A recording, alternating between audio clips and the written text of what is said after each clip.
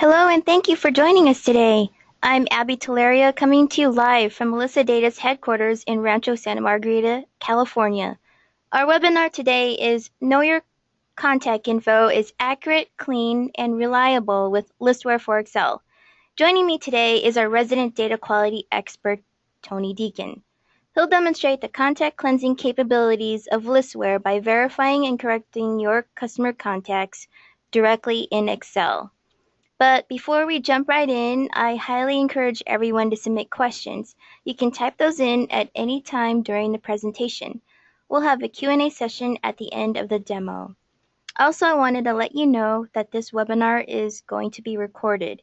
So if you miss anything or you want to forward to someone, you'll be able to do so. So we've got a lot to cover. I'm going to hand off the mic to Tony. Tony? Thank you, Abby and thank you all for coming. Today we're going to discuss Melissa Data web services that you can consume using Listware for Excel add-in. The uh, Melissa Data has had the been doing address verification and validation for like 20 years now and specialize in US and Canada for many years and now we're branching out as well into global and international addressing for for many years now, we've run web services where we have servers on-site, off-site, and in clusters across the country that are running our our proprietary web services.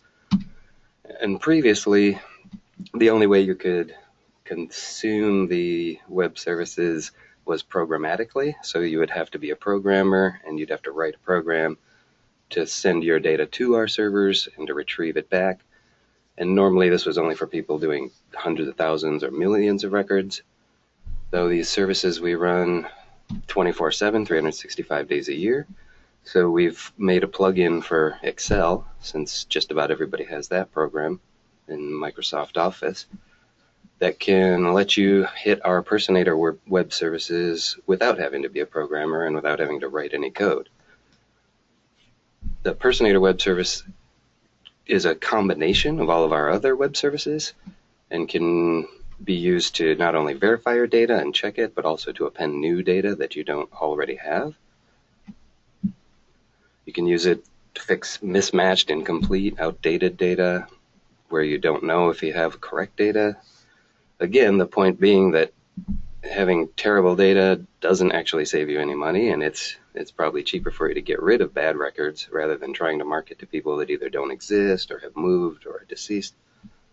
Using these web services, you'll be able to verify the name, the address. You can also use other services to find new address if the people have moved, but we'll go on we'll go into detail on that in upcoming webinars. This one we're going to do the basics of just how to get it installed and how to use it. I've made some slides here that show basically what we're going to do, and I'm just going to kind of whiz through these, and then we'll do the whole thing again for real on the website and in the program. So this is just to give you an idea, and then I'll do another demo where we actually show it. So on melissadata.com, you'll have to create a free account and sign into it. If you don't already have an account, you can click on sign in and there are steps to create the account. It's free and then you'll be able to download Listware for Excel and it generates a license string you can use. Listware for Excel shows up in your Excel program as a new tab. You'll see once you've installed it. So the first step, you'd go to melissadata.com and then sign in and then go to My Account and you'll find under there your credit balance. Listware uses a credit system, so you can purchase credits and then just use them as you go, kind of a pay as you go, so you can process one record, 10 record, 1,000 records, and you don't have to have any kind of a subscription to do that. We'll go over the credit system in more detail later, but under your account, you'll be able to see your available credits and the license string that will be generated so you can activate the software.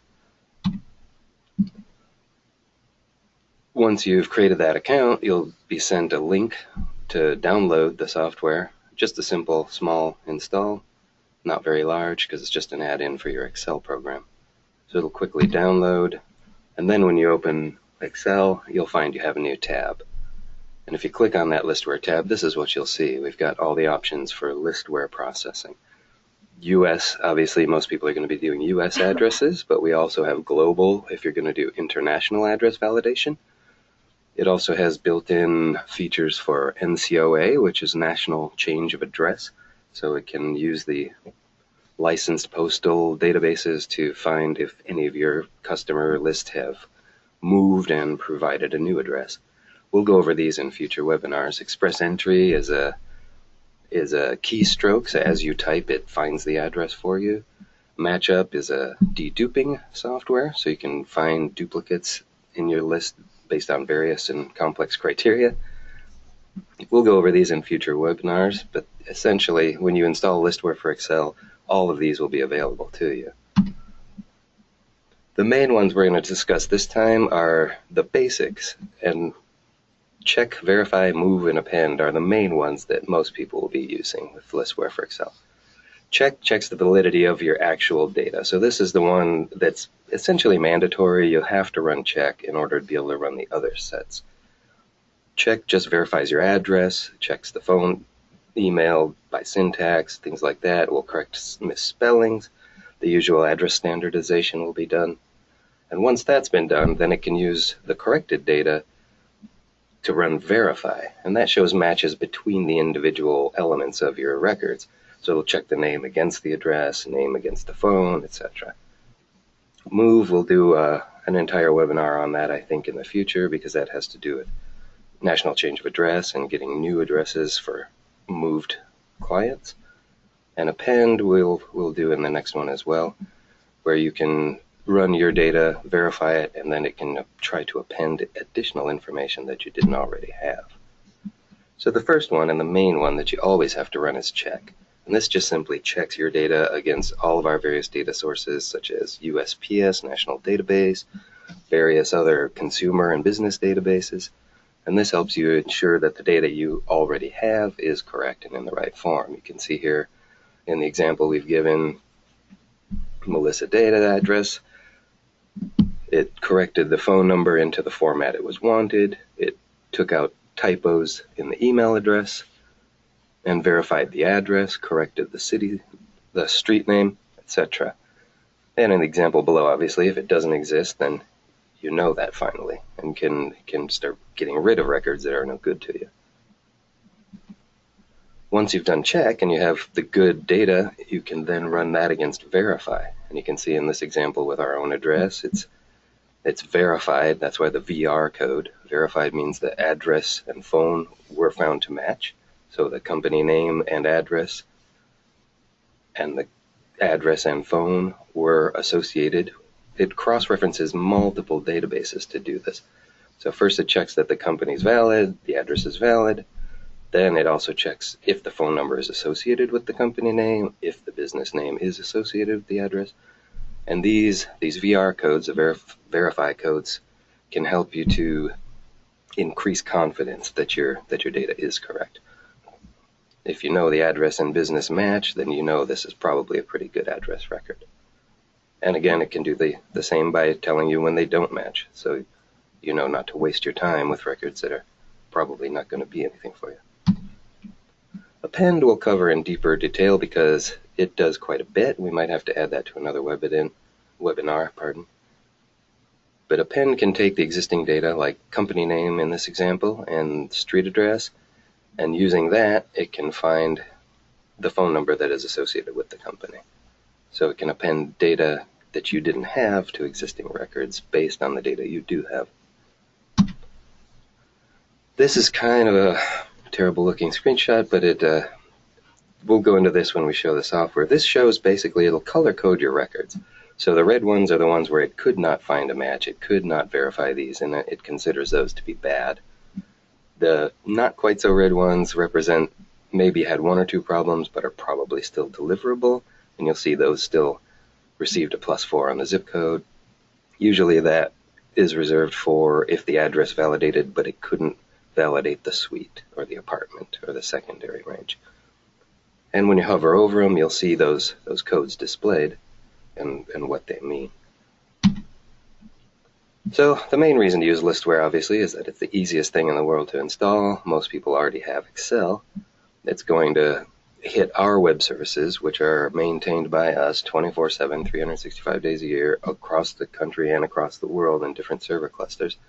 So there's no need to install anything on your machine. You don't have to do any kind of updates. All of that's handled on our end. You don't have to have a subscription. You just pay whenever you send a record to the service and it's verified and sent back. So now we'll go through a quick demonstration where I'll just try and show basically those same steps in a, in a real world demo. Just a second.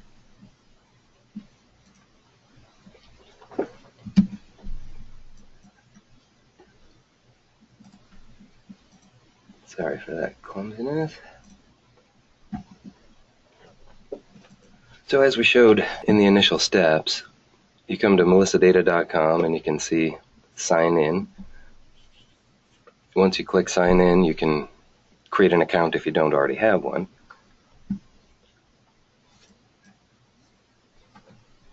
And then you can come to the listware page on our site for Excel and get the link to download.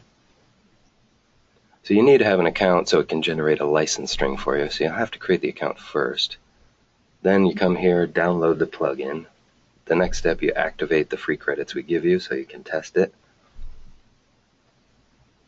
And additionally, they have a promotion now where we give you a three, a thousand credits when you first start, and then each month we'll top that off to a thousand credits again. So that way people can can run it, test it, see what happens, and they without having to lose money in the process. And if you're only doing very, very few records, it'll it probably won't charge you at all. This is the credit page. It's also on the site, and it's a link to that button on the previous page. You would come here to activate your free credits, and then you'll get a thousand credits topped off every month. You can also buy additional credits, or under your account, you can set it to auto refill credits. So when you run out of credits, it adds a certain number of your choice.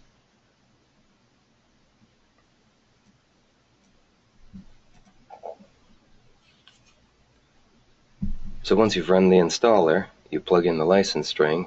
The next time you open Excel, you'll see you have Listware tab up here. And so for today, we're going to do US and Canada option.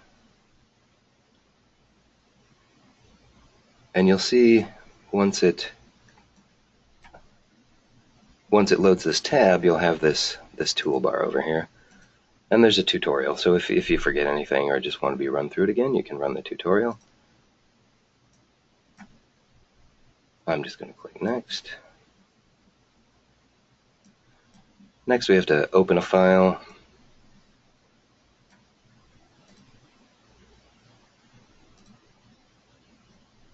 I've got this one ready, I think.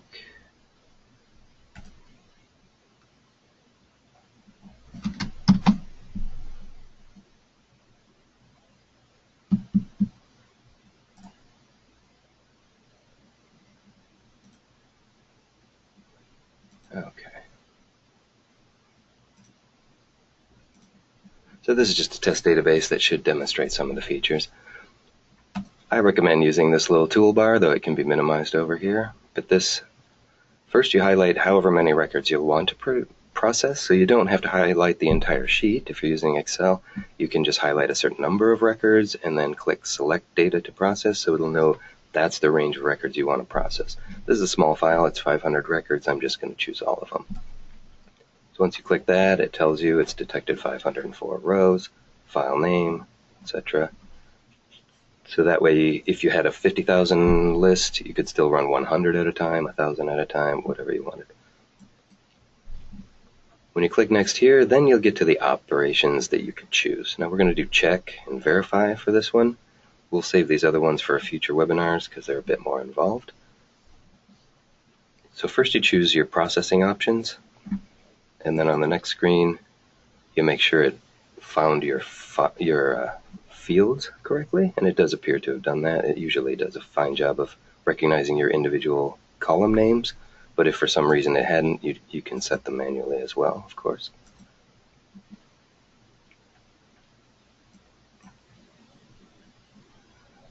So having chosen our input columns, now we choose the output columns, and it will add these columns to your list. So it won't overwrite your data and you won't lose any data, but it will add new columns so you can scroll over to the side and see all new columns with appended data, and you'll be able to compare them against your original data.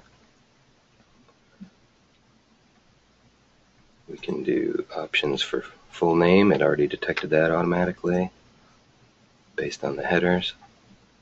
This time we're just going to do name and address just to give a basics. Here you can see there's a warning. You specified an output email, but not an input email. Since we're not doing append, it's not going to come up with new data, so I just won't do email then. There is no email column in this field, in this file. These are options for the types of reports it can create at the end. Those are entirely for your own use. You don't have to create them, and you can choose what it puts on them, but mostly just for your for your own use, not anything you would need per se. This is the final check everything before you run its screen, and then as long as you don't want to change anything at this point, you can just click process. Account information is on is available on many different screens, so you can review if you have enough credits. We'll save the changes. At this point, it's going to connect to our servers and start sending your records, usually about 100 a second. We normally recommend you try not to run other programs if possible, or not opening and closing others, because the more resources it has available to it, the faster it will run. And you can see it's going to color code these. Good records are blue, bad records red,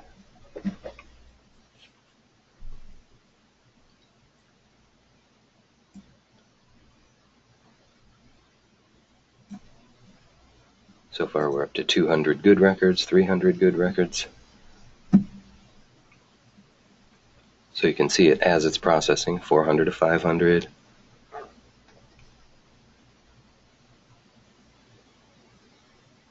Previously you'd have to have done this all programmatically, but with this new listware for Excel, you don't have to do any of that and you can still take advantage of our robust web services that are constantly running. You can send records to them anytime, 24 hours a day. So it completed. We can close that. Message that it's done. We can review or rescan the results if we like.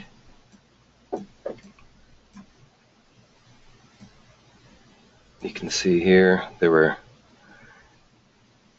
41 marked bad, so those are flagged red because it just couldn't find a match for those and wasn't able to do anything, so it's set those as errors. 504 were marked basically good, but 41 had address problems. And you can see now, if you scroll over, it's added all these new columns, and they're color coded for easy reference. And you can see as you hover over it, it tells you the exact error codes or correction codes. AE stands for address error, AC stands for address correction, so you can get an idea of what it has done correct your data without actually changing your original data. And there's also these codes here, which are listed on the website, but when you hover over them, again, it'll it'll give you a quick reference of what it did. So you can see suite name was changed to suite. Suite range changed to 1. Address valid and deliverable. So you can use these in Excel to sort, so you can get all your best records on the top. You can use it to find which ones you, you no longer want to maintain because they don't seem worth it and it's done that all the way down. So the red ones are the ones where it didn't find a match. Unknown street gives you the reason why it couldn't find a match. Here the street number was wrong. And as we mentioned earlier in the in the slide presentation, the verify adds its own codes. So these are all the address check. This is the check codes, and these are the verify codes. So this verified the the organization name, the company name, and the address are found together in various data sets, cross references various data sets organization and address, partial organization name. So you can use these to determine how much confidence you have in a given record. And, and the more matches you find, obviously, the, the greater degree of confidence you can then have in that, that your data is accurate. And essentially, that's all we're going to do for the first one. We've showed installation and the basics of, of check and verify. I don't think we're going to have enough time to do append and move. Those will have to be in the next upcoming webinar, uh, webinars. At this point, if there are any questions, we could take them. Please feel free to type them in at any point.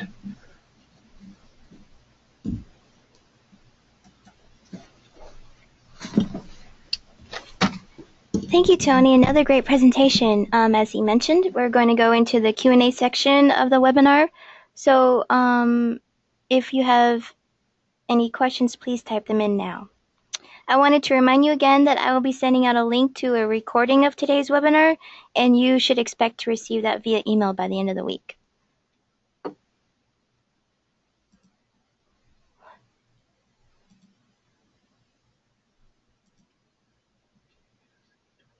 Okay, um,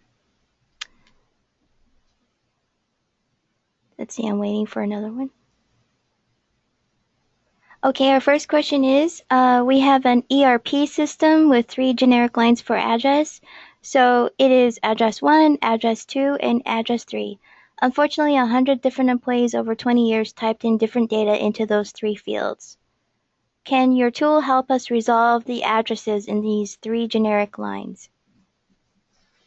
That's a good question. We do have other software that's specifically for doing that, though this one will do an address 1 and 2. It might force you to run it twice if you had addresses in address 3 and you didn't want to just copy and paste them over. But it should be able to validate one address line, and if there's additional information in address 2, it can combine the two into a good address. Can you specify the format of data like telephone numbers, etc.? Yes, you should be able to do that. So it'll it'll standardize normally the way that you would most commonly see, like the phone number with the parentheses, that sort of thing. But yeah, you, there are options so you can choose how it standardizes phone numbers, emails, things like that.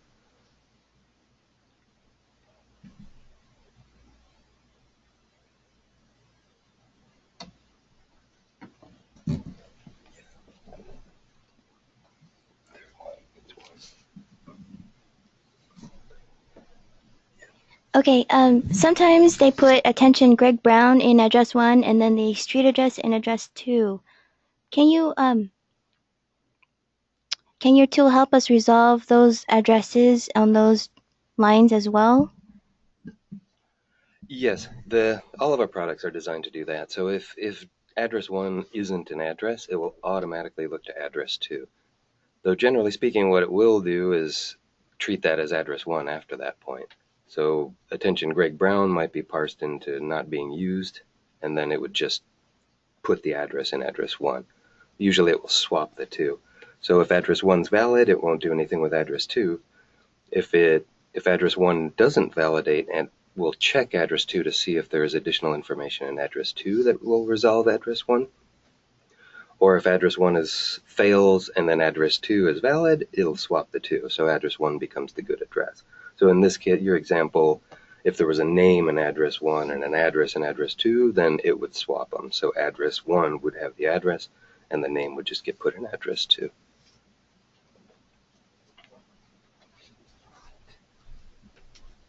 Um, phone numbers are entered in zip codes and vice versa. Will it fix it as well? Well, of course, it depends on the quality of the data, how, how bad it is. But generally speaking, if your address, city, and state are valid, then it will append the correct zip code. So in your case, you could just have a blank zip code field, and as long as the addresses were valid, we would append the correct zip code and zip plus 4 when the address validates. That way, you could keep your, your phone number zip code field completely separate. Or you could format new fields, empty ones, as phone and zip, and we would append the correct one in both cases.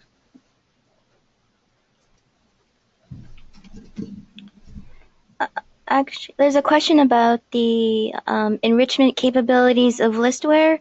Um, I just I can answer that question. I just wanted to let you know that um, in next month, in August 24th and the 31st, we'll be highlighting the enrichment capabilities of listware. Um, adding in missing contact info and demographic info. Um, okay, we have another question here. Uh, will it run spell checks on names? It, uh, I believe the answer is yes to that. It does check against giant databases of first names and giant databases of last names to verify the name. So when you get a, for example, in the background, you can see NS01. That means name status 01. That means the names were found. So they were validated.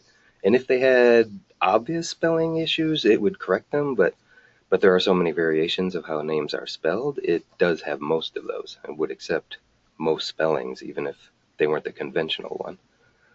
And again, any questions you come up with after this is over, you can always contact tech support at Melissa Data. We support all the products. You can just call us with questions or email us at tech at melissadata.com anytime.